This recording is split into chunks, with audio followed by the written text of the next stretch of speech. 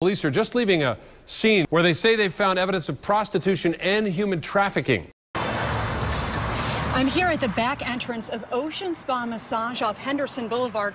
And if you follow me back here around this porch, you can see where local business owners say they've seen girls as young as 11 years old wearing nothing but lingerie. Undercover agents responded to ads that used telltale words that hinted at sex with minors. The FBI is telling us agents have rescued more than 100 children from sex trafficking rings in cities across the country.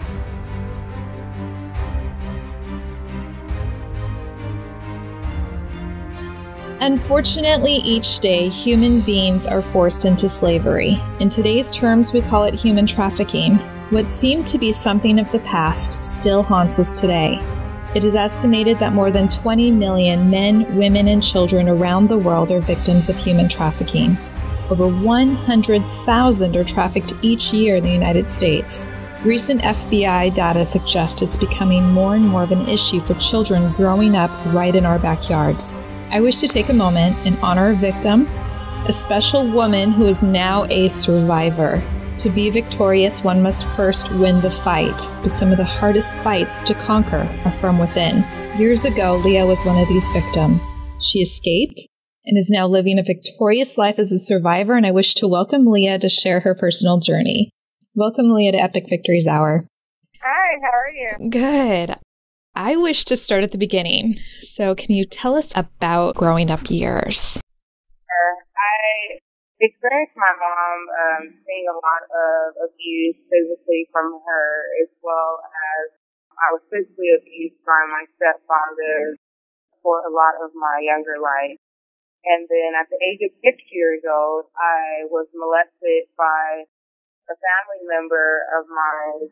And then again at the age of 13. So I went through a lot of physical, emotional, and sexual abuse as a child. At the age of 14, my mom moved me back to the state where I was to meet my biological dad for the first time. And he basically didn't want me. I, he didn't have any room for me in his life at that time. And I ended up in CPS custody from the age of 14 years old to 18 years old. When I look back at it uh, on how he started, I just, I had no value in, in myself or in, um, the very minimal things of, of, of a girl at a young age feeling like uh, sex is valuable and that you're to love yourself. I lost all of that because I didn't have that. And there were so many men that took advantage of me as a, a young girl and a, a child alone. How did really the nightmare begin for you? Guy. Guy, he just seemed very different. Um, he seemed persistent and sweet and charming and started to establish a trust relationship with him where um, we started to date and dating became, you know, boyfriend and girlfriend. And I was in literally in a relationship with him for three months until he started pressuring me, you know, hey, let's go to California. And at first I was like, you know, no, I'm, I don't want to go to California. Or, you know, I was not so quick to go because I was content where I was because I had my own apartment, I had my own car, but he kept telling me this fairy tale that, you know, if you go out here, I so much more money. Eventually, just because I was chasing more and more to try to fill this void that I had on the inside, thinking that it would make me happy, um, I agreed. As long as I used to take my friend with me. And everything was okay the first day we were out there. I ended up going to the strip club. The second night, everything seemed normal. And then towards the end of the night, he got upset because I was talking to someone and, and he felt disrespected. So he grabbed me by my throat and he started choking me and dragged me into the, the woman's bathroom. Point, I was like, okay, what is happening? And I was in a place in a in a state where I didn't know anyone. I was in an unfamiliar place. I never been in the city that he had me in. I go back and I find my friend. I say, hey, you know, he just put his hands on me. So we get back to the hotel and me and the girl that I'm with are saying, you know, hey, we don't want to be here. We want to go back home. And in that moment, he actually reached over and he hit my friend with his fist in her eye. But he hit her so hard that her eyes started to bleed. And that's when I sat down on the bed and I said, okay, hold up. Let me think about this. Because it was like he turned into this aggressive monster. My heart started racing and all of a sudden I just got really stuck and I just got scared. And I said, what I'm going to do is I'm just going to stick it out I'm to do what he says until I go back to Arizona, and then I'm just going to run and leave. But I never went back to Arizona. So at that point, how did you escape? I actually was with him for two years before I escaped. It took me from state to state. I've been all the way to, you know, D.C., from Florida to California, Texas. I mean, so many states where I was trafficked. And in the very beginning, I also ended up getting pregnant. Now it wasn't just me that I was fighting for. Now, once I had this child, he had a piece of, of, of me, and it was like, as long as I got this child, I'll always have this disease over your head. And he had his family watch my child at the time. I was only allowed to see my son with his supervision or with his family supervision. So I was basically forced into even doing more because it was like, if you try to leave me or if you do anything now, not only am I going to be, you know, threatening you and your grandmother, I'm going to be threatening your son as well. He didn't care nothing about, he only cared about one thing, which was money. And I remember shortly before me getting away from him, he ended up dropping me off at a track. And basically, for for those of you that don't know what that is, it's uh, a street where it's highly prostituted. So they call it a, a track where a lot of girls are being trafficked. And dropped me off, and he went around to a coffee shop right next door, and he ended up getting shot this time. He did not die. Um, he was in the hospital still recruiting other girls at the time to try to enter into the life and he was doing it through the internet because, you know, he could pose to be whatever person it is that they were looking for. His brother actually ended up taking over the business. And when I went out of town with his brothers, um, that's when I got raped at gunpoint. I got raped at gunpoint, I remember laying on my back and I was crying so hard. I was just praying to God that, you know, please get me out of this. Help me. I'm scared. I don't want my my kids to find out that this is how my life ended.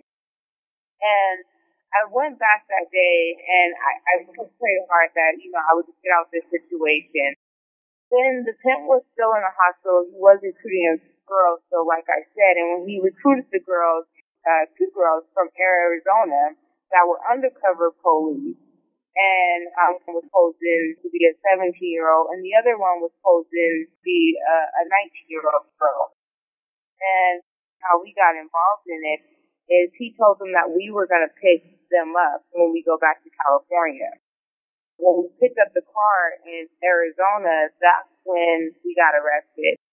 I was so fearful to say anything because I knew that if I did say something, what would happen to my son? What would happen to me? What would happen to my family? So I didn't say anything. Sounds like you just felt alone and depressed, and life must have really weighed on you at that time.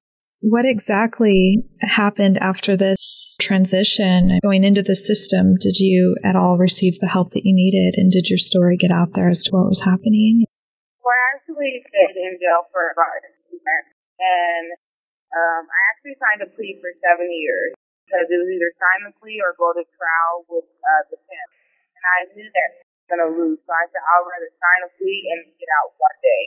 Signed the plea, and about two weeks later, I received a call in the mail saying that this person had my son. My son was kidnapped the whole time. So the next time that I went to court, I showed it to my lawyer, and they all went to the back and they said, you know what, we're going to go ahead and continue this. But when they did, um, two weeks after that, when I was still in custody, uh, undercover came and visited me and she talked to me and she was the same detective that actually originally arrested me. And she said that what would she be able to do to help me? And I said, you know, I need help. I need to be in a program that's going to help. And there was a program through um, Catholic Charities at the time that actually helped me. And the next time I went to court, they said they're going to release me into a one-year program so I can get the help that I needed. That I did everything that I could. I got a job right away. I completed my GED. I, you know, established a relationship back with my kid, got the counseling that I needed. Um, I got the healing that I needed so that way that when I got out of that program, I could live life on, on life terms. A lot of times, um, you know, when we pray for something, we think that it's going to happen a certain type of way, but I prayed that he would get me out of that lifestyle. I didn't want to be in it no more. And the, his way of saving me was actually jail at that time. Now, a journey to victory and a new life can be a long one. How did you manage to move forward? You know, I had a huge support system when I was basically changing my life through that process of that year program. The program had mostly survivors, so they kind of could relate to you as well as um, I had a mentor and I had counselors and the detective that originally arrested me was a huge support as well, as well as my family too. The whole time I was with him, I never told them I was being trafficked. They didn't find out until I went to jail. I really believe that that's what really helped me out on not giving up at that time. And after all the things happened, how did you overcome and become victorious? I knew that God had a calling on this earth for me to express and help other women and also to um, educate the community because I feel like sometimes it's not that we don't care as a whole, that we think that this only happens in uh, other countries, that this is not a United States issue, but it is. It's, it's, it's all of our issues. Uh, no one is exempt from this happening too, and, and that's why my, my passion and, and my heart it just it goes to wanting to help young girls. It goes to wanting to help these victims that are still stuck in this life. How did you get the confidence to share your story?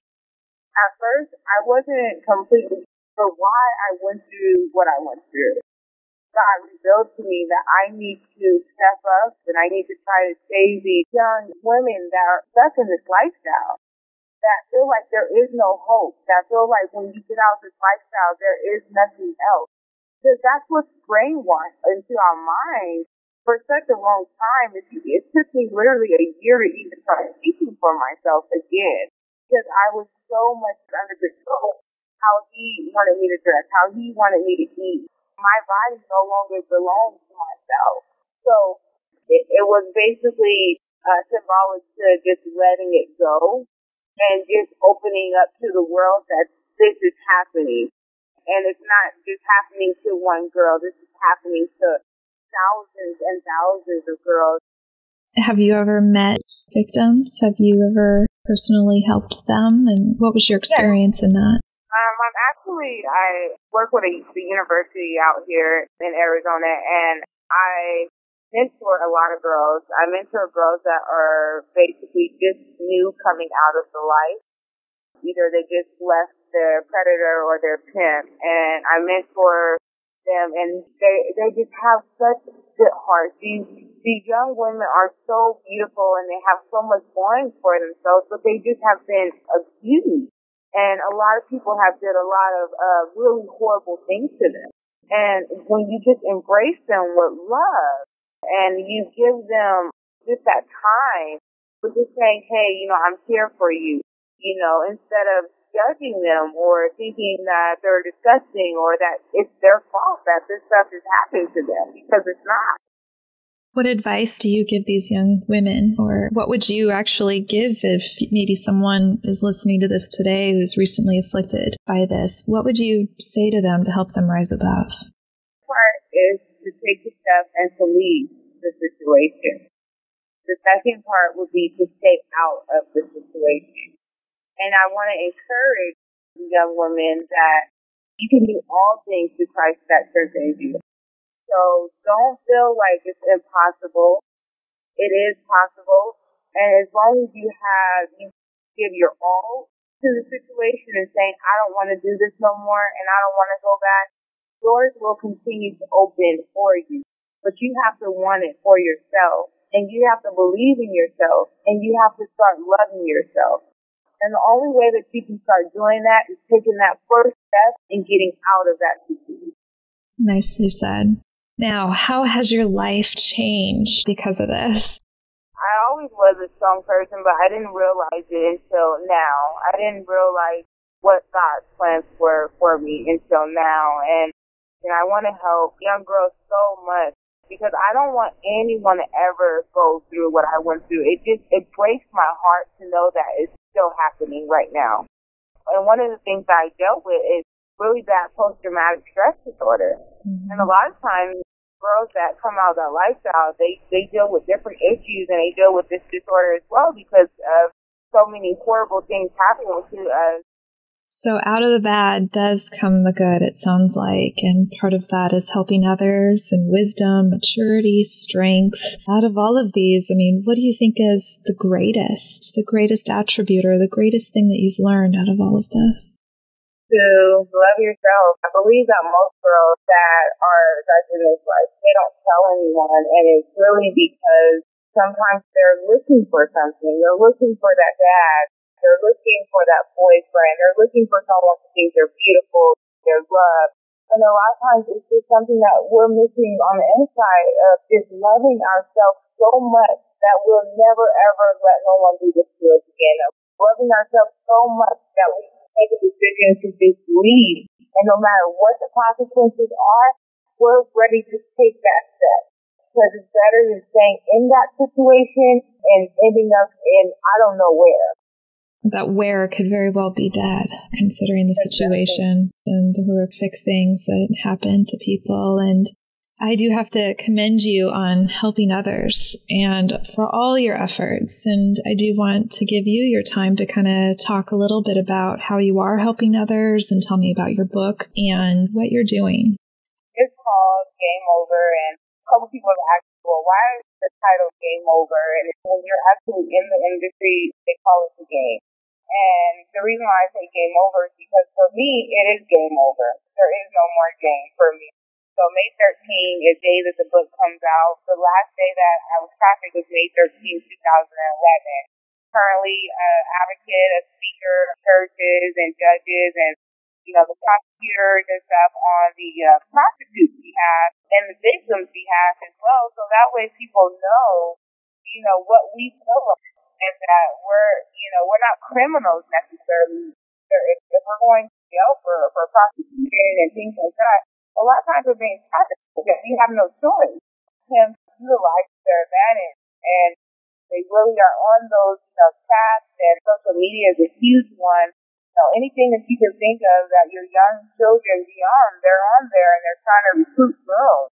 So, you know, one of my biggest suggestions is just to be aware of what your children are doing, have talks with them, communicate with them that they shouldn't just leave with strangers, they shouldn't just leave out of state, um, see what's going on, who their friends are. That's one of the biggest things for me is just to make sure that you're speaking to your young teenagers and, and young women. What do you hope to achieve? Someone is a survivor to just be able to help them if they need help with childcare or just different things, jobs, to find jobs, places for employment where they can find jobs, and things like that. Just that transitional standpoint, I want to definitely be a supporter to my little sisters. Do you want to share any of your links to some of your work? For instance, your website. How can people contact you? You can contact me at iamleahrogers.com as well as all of my social media links are I am Leah Rogers as well. And if you just want to talk about this is happening to someone you know, or if it's you that has happened to, to definitely be a support. Thank you, Leah, for sharing your personal journey to victory. It's been an amazing one. And we encourage all those affected by human trafficking to get help or report a tip by calling the National Human Trafficking Resource Center at 1 888 373 7888. The National Human Trafficking Resource Center is a national nonprofit toll free hotline available 24 hours a day, seven days a week, every day of the year. And volunteers are waiting to help you. Again, that number is 1 888 373 7888 or text B free B E F R E E or 233733. To stay up to date with new victories and stories of overcoming, visit our website or join us on Facebook at Epic Victories, inspiring our world and local communities.